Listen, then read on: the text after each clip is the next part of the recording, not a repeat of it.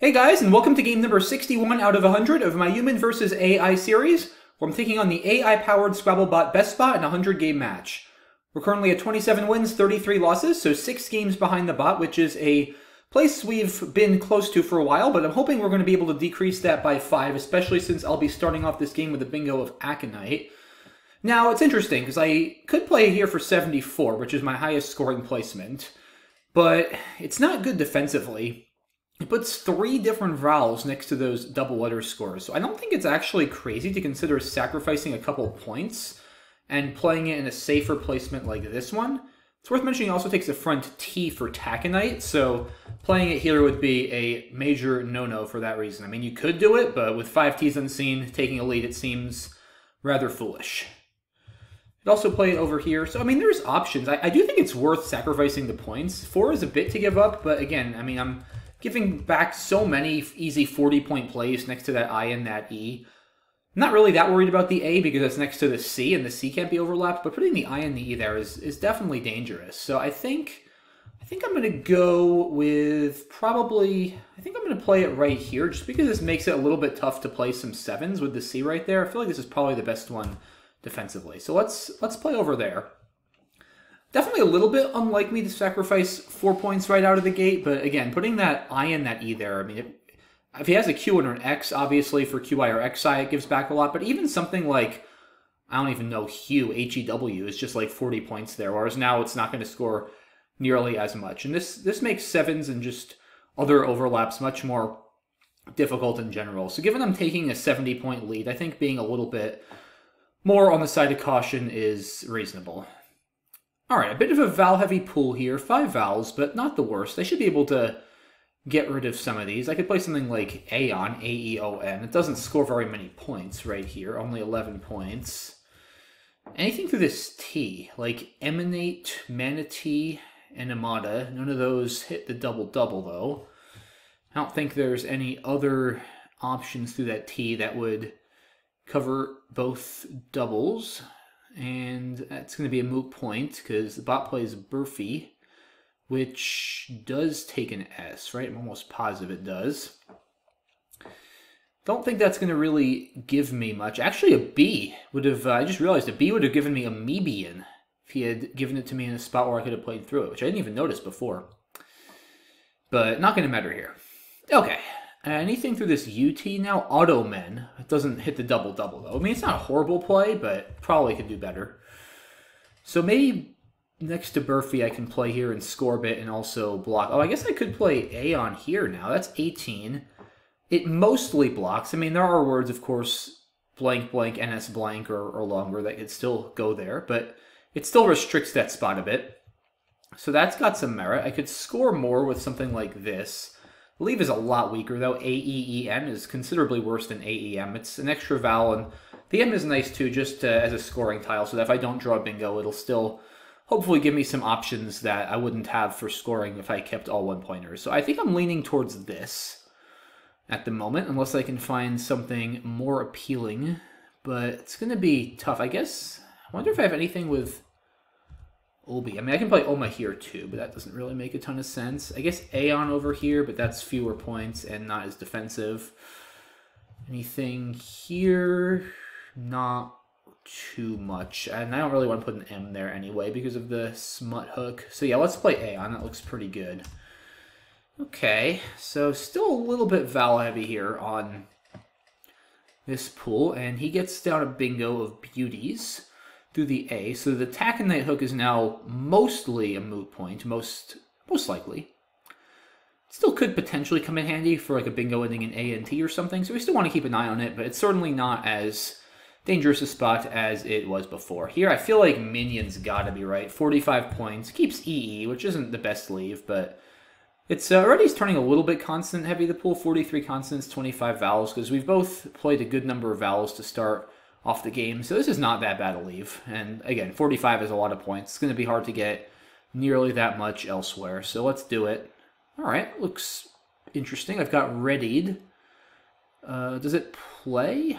It doesn't fit with dare, right? There's not enough space. Yeah, unfortunately not. Anything on the right, like through the T or the D, maybe? Uh, it doesn't look familiar. I feel like if there was something through the T, I would have recognized it very quickly. Yeah, like radiated doesn't work. I need two A's. I don't think there's anything through the S either, as far as I know. And Vugs is probably not going to help me. I don't have anything through the V. So unfortunately, this may be a rack where I have a bingo on my rack, and it feels like I should be bingoing, but I just don't think I am. There's nothing to this N in Minion, or from the N in Aconite. I don't think there's any 8s with an N, period. Yeah, it's a it's a tough one because it feels like there really should be a bingo, and that happens often. I mean, you just you just feel like there's a bingo on your rack, especially. You feel like there's got to be something that plays. It's a pretty good rack. Like I don't have any particularly bad tiles. And that's what can make these turns tricky too. Even if I didn't have a bingo, like on my rack, forgetting that part, just trying to figure out what to do because, like I said, it's not like there are any tiles I have that are bad. So without a clear foothold for a scoring spot or something I want to get rid of, it's a little bit tricky to figure out how to approach this turn. And he, there's no double doubles to this eye, right? I think the only possible sevens would be readied anyway. Uh, there's nothing else. No. Okay. So nothing there as far as I can tell. Yeah, I mean, again, there's just nothing I'm like, I guess if I, all else being equal, if I can get rid of one of my Ds and one of my Es, that's not a bad thing. This is fine. It's not a great lead, though it's still a little bit Val heavy. Maybe something with Dare? Problem is, whatever I do is just not going to score all that much, really. Have a little bit of a lead, but not a massive lead by any means. I guess I could also just completely blow up the rack. Something like rated. There are two blanks left. I mean, it's not the craziest idea ever either. It's de definitely an interesting turn. There are, are options. I, I don't want to do something like add and keep three valves like that. That's just definitely not necessary. At that point, you're much better off just blowing up the rack. I don't think I'm missing any sort of scoring spots. Yeah, I mean, the best spot for overlapping would be next to Aconite, and the only tile I have that goes next to Buy is the D. ADE is not a word. Yeah, there's just not much. RED gets rid of both of my E's. I don't want to do that. So, yeah, there's, I mean, there's just ED or DE, which are not particularly good, I don't think. It's also like, especially if I do this, I block the, or I mostly block the T, which is one of my best bingo tiles with a slightly Val heavy leave. It's not a great board for bingoing with this rack. It's like, as we were seeing, ED7s don't even play. So I don't really think there's a lot of merit to to doing that, to be honest. I feel like I'm more inclined to just play rated and blow this back blow this rack up. Maybe aided to keep a R for a little bit of balance. I don't know. The, the problem is it just gives back a lot with that A, putting it next to that double letter, either for a play through the triple or down the D column. So I'm not too keen on that either, whether it's that or rated. So like all my plays here kind of have drawbacks. Idea here gives back a lot of overlaps as well. So it's very difficult to find a play that, I mean, nothing scores anything, but to find a play that's good for my rack and scores at least reasonably well and doesn't give anything back. I guess I could just play maybe maybe died over here for 17. I still think that's better than Ed.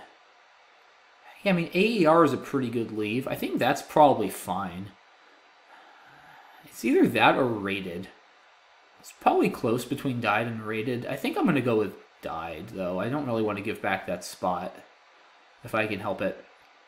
Yeah, this is definitely a questionable play. I've already spent a while, though. I should probably move on and, and do something. So yeah, let's uh, let's just do that.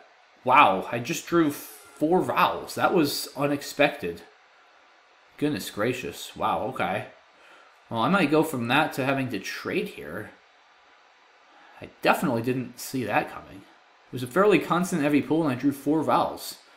And the bot bingos with two S's and a blank. Yikes. Okay, well that was not the turn of events I wanted at all. Uh, Sheesh. How am I going to respond to that? Do I have anything from that T and pistols? Not much. I mean, I can do something like this. AOU, though, is horrible. Anywhere to play Aurii or Urii? I mean, yeah, I can play it here for 9. It's not particularly exciting. Ugh. Hmm. Is there anything worth playing, or should I trade? I feel like I really don't want to trade. Like, my rack, I went from having a bingo on my rack to now feeling like I have to trade? Maybe O? Yeah, 16. That's that's worth it over trading, I have to imagine. Hate getting rid of the E, but at least I get rid of three vowels and keep my only consonant. Yeah, that's still got to be better than trading. It's probably the best option I've found so far. I just don't really know what else there is. I guess there's auto or auto. I don't think it's worth nine points to keep the E though, especially now that I'm at a deficit. It's not the craziest idea, but I just don't think it's quite worth it. So yeah, I mean, I don't know what else there really is. I think uh, I think we're gonna have to do this, and hopefully I'll get some consonants. Eh, I did, but I've got all these one pointers now. That's the problem. And the bot bingos again. Dang it! This game started out very well for us, and it has uh, things have gone south very very quickly. I mean, there's no like G for agitator or B for abattoir open. I feel like I've got to open a line on the left. I think Oat here is probably in order. Doesn't really score much, but nothing's going to score much with all one pointers. Opens a line on the B column, down almost 100. I'm going to probably need two bingos here, or a bingo and something else worth a lot of points. So let's do this. And now I get the Q. And there's no U open for Tranquil. So, not good. Not good at all. I mean, I do have Trank over here at least, so that helps. But it's still not good. There's also QI if that gets blocked, but this is extremely, extremely counterproductive. Just completely shutting down the lane I was trying to open. There's also Quin over here. So we'll see what the bot does, but if it stays open, Trank is going to have to be best. Yeah, Lingy for 32. I mean, I'm down over 100 points. I need to get as many as I can. And maybe I'll draw something through the Y. I guess you never know. I'm going to really need that blank, I have to imagine, to have any chance of winning at this point. But we'll see what happens. Looks like a decent rack. I don't think it's... Well, actually, there is a bingo through this B, believe it or not. I can bingo with Citable. And the bot keeps... Whoops, why is it not... There we go. My L key was stuck. Uh, yeah, I mean, I think I have to do this, right? There's no other bingos. And look, I'm creating some chaos. There's two triple triples open. I'm still going to be down 50 in a turn, but if I draw the blank, I mean, and the bot could have some bad stuff, I think I have some chances. Not a lot of chances, but some. Well, now I probably don't have a lot of chances. Two H's and two W's. Wow. That is, uh, that is a rack I can confidently say, guys, I have never held before. E-E-H-H-K-W-W. I mean, it's, like, actually not probably the worst rack ever, because there is some scoring opportunity, but I really need to bingo here. I have the last E's. This is like, I mean, hard to even process though, this rack. There's so many duplicates. I guess I can play like chew. Trade six?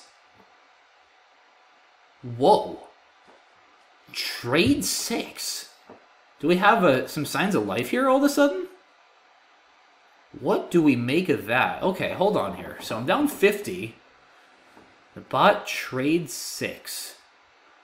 Well, I have to imagine it's got the blank now, right? Because let's think about this. If the bot... Well, either the bot already had the blank. There were, so there's 12 in the bag.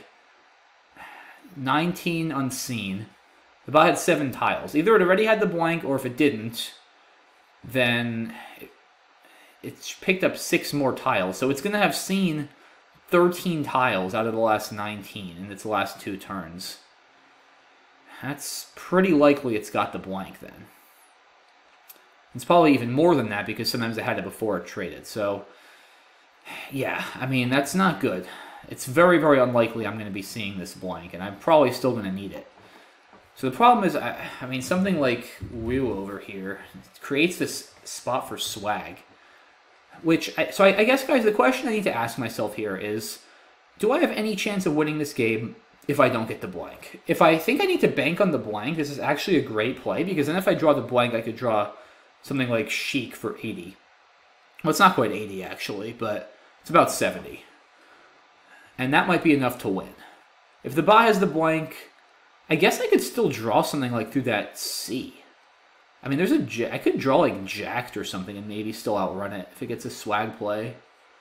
So that's interesting. That's one option. Another option, which is more kind of standard. Not going to play cheek, keep HWW, but chew for 36, keeping, you know, a leave that's kind of awkward looking, but also has some scoring potential. I have the last ease, which is pretty valuable. It's like, what? So what do we make of this trade six? The, the bot have probably like a lot of consonants, is my best guess from that pool. But if the bot traded six, that means there's probably a lot of Drek in the bag that I don't want. So playing fewer tiles might be good, although the W is kind of Drek, and getting rid of the second one with Wu might make some sense. Here's the problem though, like if the bot has the blank, it's probably not even going to play with swag. It's probably just going to play from the C, and then play with swag next turn. And then I can't really do anything about it. There's also that Z on the right. Like, you know, one thing that's nice actually about Chew is I keep WH. If I draw one of the two eyes, I get Whiz for 57. That's a lot of points. Yeah, I feel like with that there, and I mean, the bot could have Frizz, but it could also easily have nothing through that Z. I feel like between Chew, like I'm still down a bit, but if I can draw Whiz and the bot redraws its bad tiles, I think I have some chances, guys. I feel like this is better than Wu. Unless I'm missing something else, but ah, this is such an awkward rack. I also have some good potential to score to that Y with stuff like Hokey, which I don't even know will be enough. Maybe even Jokey if I get to J. I think I might have some chances to outscore it, though. Like, I have a hard time imagining I'm going to bingo. And again, I think with Wu, I'm just I'm all in on drawing the blank. And I feel like if I draw the blank after Chew, I'm probably winning a lot anyway. So, I don't know. It's a really tough turn. I think I'm going to go with this, especially with the Eyes Unseen for Wiz. All right, well, I got the Eye, so that's Wiz for 57 right there. Um, wait a minute. Hawkier is not good. Oof, Proxy for 51. Um, okay, so now got another decision to make. I can score on the bottom for a lot. Or I can play Wiz. Yeah, Hawkier is definitely not good, right? It's just Hockey and Hockeys. Almost positive. This pool is very weird. DDFJMV. Down 65 points. It's a lot of points. There's uh, a huge J spot looming here, too. Wonder, I mean, if proxy could even be like a J setup potentially. Hmm. See, a wager is 56, Wiz is 57. I imagine one of those has to be the play. Unfortunately, this doesn't save Wiz. That would be ideal. I don't think I want to. No, just playing Wag is too big a point sacrifice. I guess.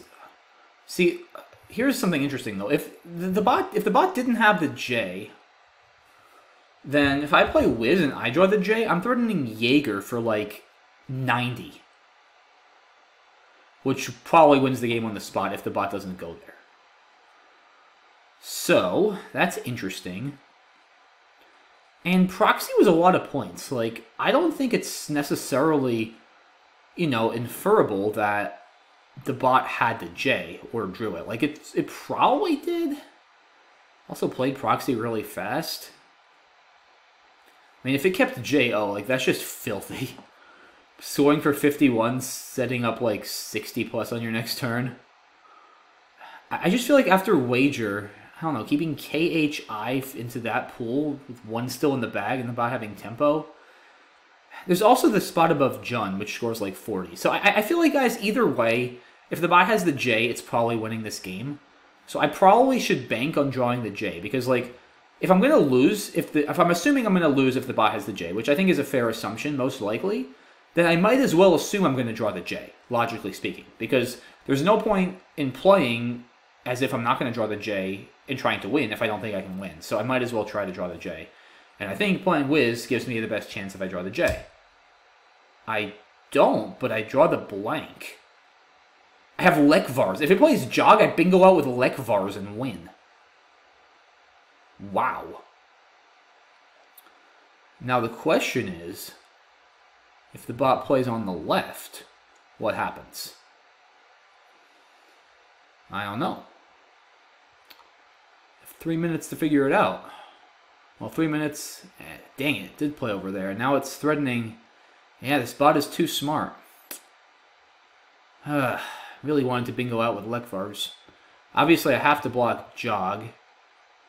It's a lot of points. Down 30. Yeah, it's threatening Jun and Joe, too. Dang it. Um, Maglev. It's probably not enough. Yeah, it's not even 30. Jo, yeah, I'm going to need 30 points with this. It's not happening. There's no way. Um, after Jo, it's have Did, which probably goes out in several spots too. Um, yeah, probably can't win this, unfortunately. There's no other bingo, right? Nah, no way. I don't think so. Huh. Welp. Logger, does that do anything? KV blank. Yeah, again, the bot's just going to play Jun and Joe. Still 38 points. I'm down 40. 39. Well, I need 29 points to tie with this. There's nowhere to play Kiva or Kava. That isn't going to do it. Don't think. Uh, how about this? Oh, I mean, I have move and live. That's a bit. Still probably not enough. Or under two. I think I lose by like eight. It's close. Problem is I, I don't have any tiles that go above this O. So I can't really score there. I just can't outrun Joe, unfortunately. I just I just don't think I can. Feel like something with L. If I try to save cough, but on the top left, but like with L E R V blank or L A R V blank. What am I gonna? What am I gonna do there? I don't know. There's no eights through that N in Trank. I haven't really looked, but I'm pretty sure there's nothing. I'm down to 30 seconds. Yeah, obviously I have to block Jog. That's 60 points. I'm not seeing it. If it's there, I'm just not seeing it. So, yeah, Cray is the best I got. I think I lose by like 8 or 9. Oh well. Dang. Yeah, there's nothing else.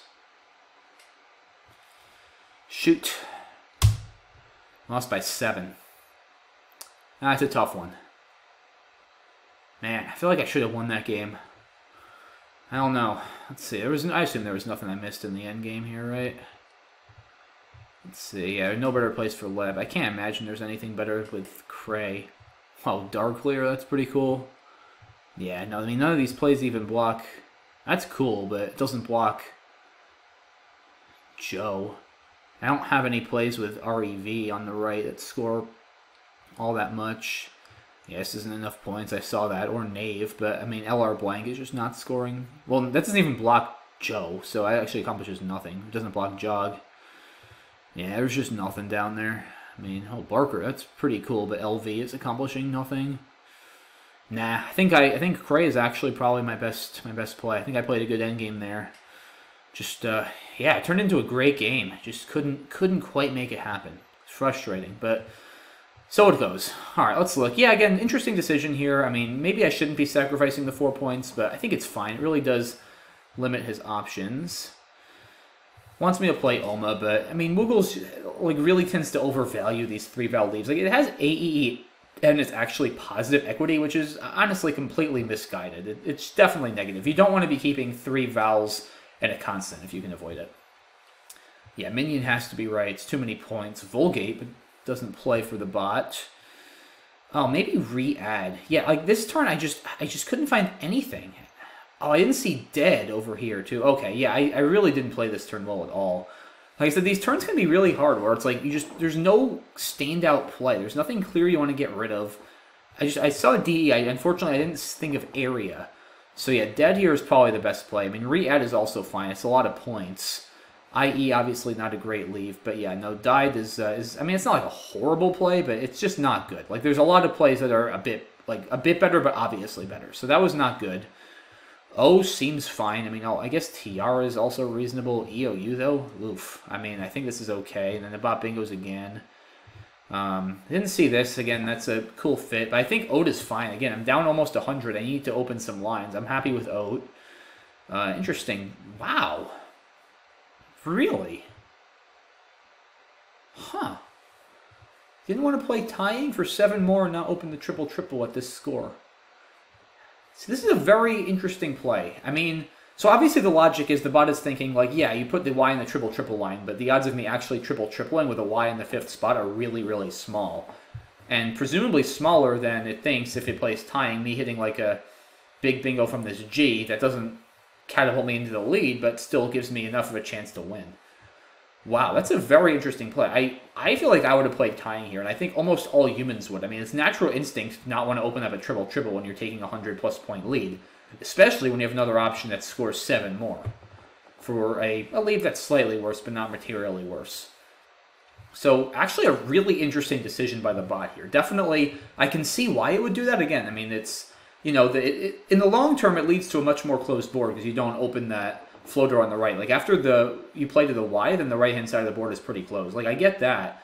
It just does give up a bit of. Uh, there are a lot of short term disaster scenarios through that Y, but I guess they're so unlikely that the bot felt it was worth it. So interesting uh, decision by the bot there.